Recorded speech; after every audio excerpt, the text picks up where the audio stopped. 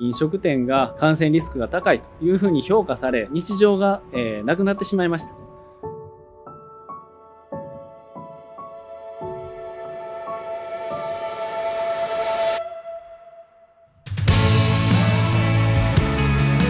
あの空間衛生ということは空間自体をできるだけウイルスのない状態にする。各居室一定量の換気を保たなければならないというのは決められています。料理を召し上がっていただく前の段階である程度目に見える安全というのどんな飲食店においても基準値であったり数値を決めることによって安心して利用できるような空間を作ることができるっていうことがすごく大事。安心の食文化を日本から世界へ広げる。飲食店の